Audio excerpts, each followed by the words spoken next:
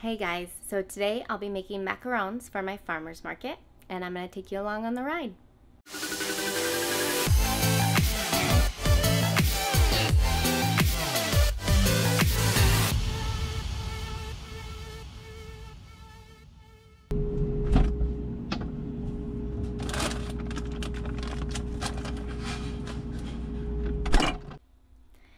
So I forgot a few things at the grocery store, if you guys wouldn't mind. A quick detour. Come along with me.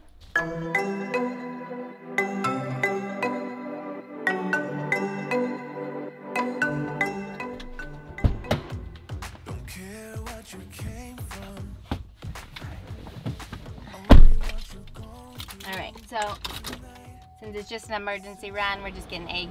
We're gonna go to Trader Joe's.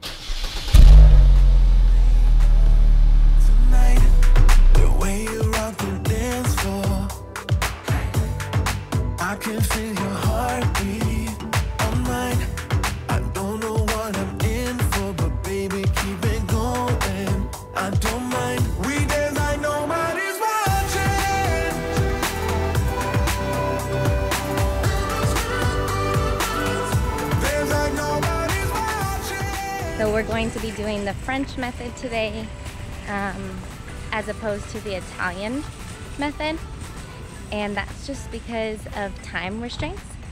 So I can pump out a ton more uh, macarons with using the French method than Italian.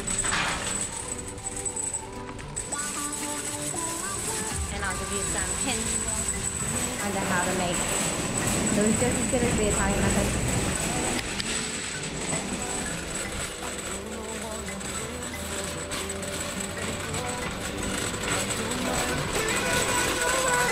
Keep the lips out, okay?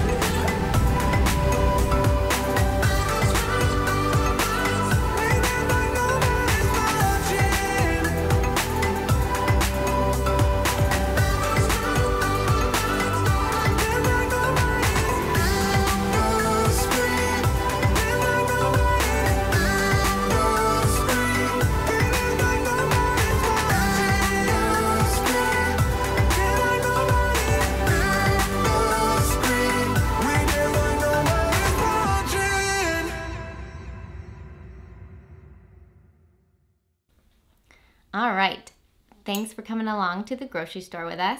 We are back. The kids are asleep.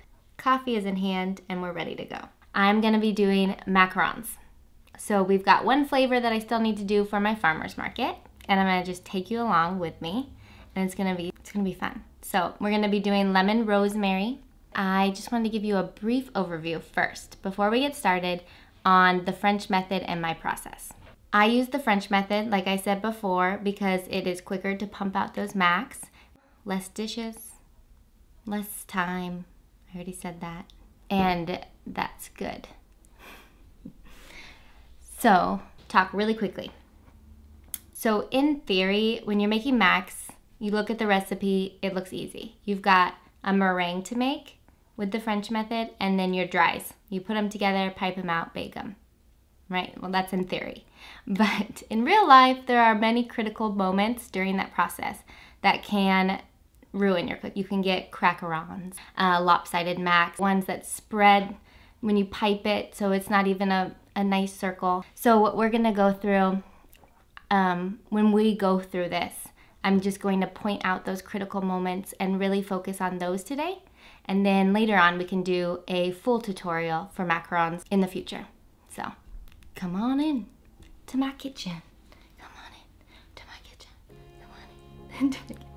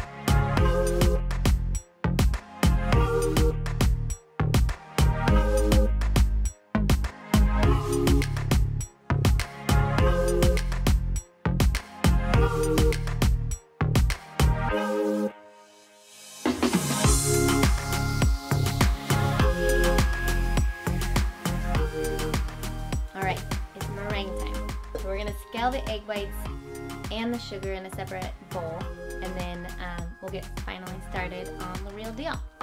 Got my Trader Joe's eggs that we got, and I'm just gonna use the egg whites.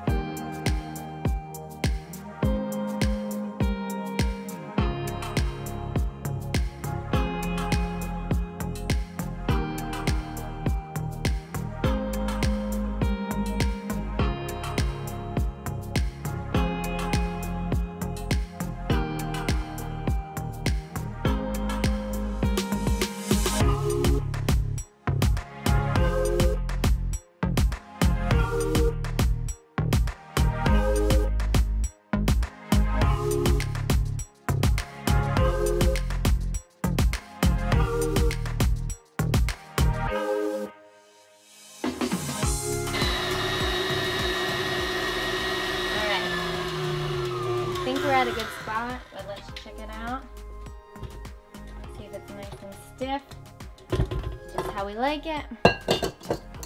Let's see. What do you think? More? I think we're good, guys.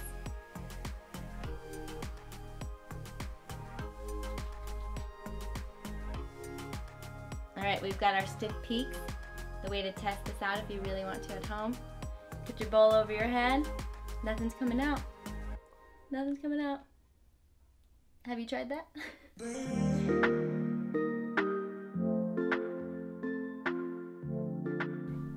All right, so I moved the meringue over to a wide bowl so I can see what's happening on the bottom of the bowl easier. I'm gonna put half of those dry ingredients. We're gonna make sure you guys get this right.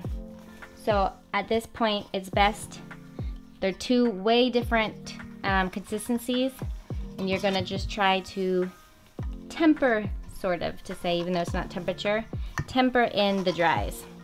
You don't wanna deflate your batter at this point, you just want to incorporate it.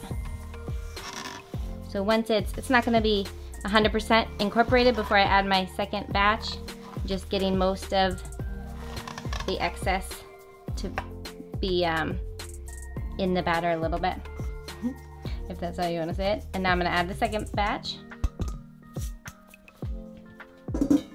And then do the same thing. I'm going to round my bowl with my spatula underneath the meringue and bringing it over. Around, up and over. Around, up and over. Just to incorporate. And again, I am not deflating yet. Not deflating. You want to have as much air left in that meringue as possible so you can control how much you deflate at the end. Because if you deflate it all in the beginning, you're going to be poop out of luck when you need to actually mix evenly the dries with the with the meringue. Okay. So still nice and airy, right? I'm going to deflate the batter, and this is the process of macaronage.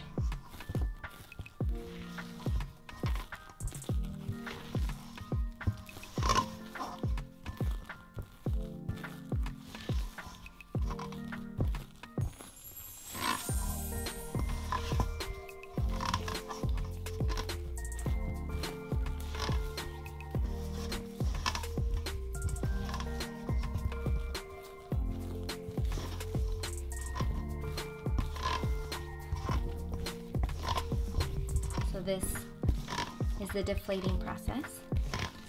It also makes your batter look nice and smooth. And you're gonna get those nice smooth shells if done properly. Don't want any lumps of the dry. Every once in a while you wanna check to see the consistency. All right, I still have to keep going. I want it to be flowing continuously, but a little pretty slowly off my spatula. So what I'm doing is I go around, up and over, and push out the air. Around, up and over, push out the air. All right. Let's check it.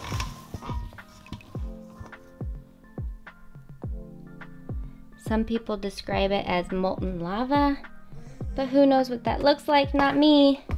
So, I like to just do a, a ribbon or a figure eight. And if it doesn't break, broke a little bit, I'm gonna go a little farther, then we're ready to go. If you're at all worried, less is more in this case because your batter's gonna get a little bit worked in that piping bag too. And it will deflate more. That looks great. That's gorgeous. Let's show you the figure eight.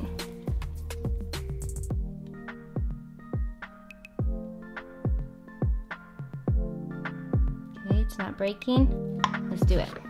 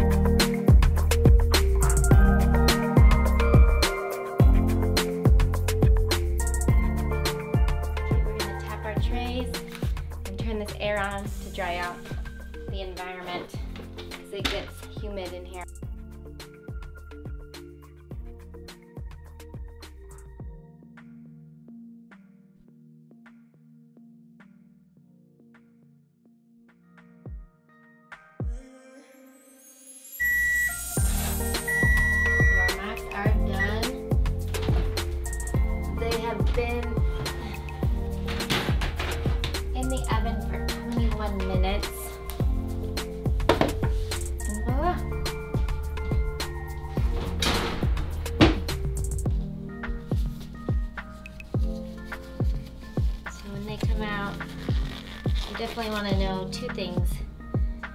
If they have fragile tops, which these are good, and if they come clean off the Silpat. Good. Once these cool, I'll take them all off. I'll sandwich them together and store them until I fill later. Thanks so much for tuning in, guys, and please remember, subscribe to our channel, share it, love it, follow us on Instagram, like us on Facebook, and of course, I will see you in the next episode. Crushed it.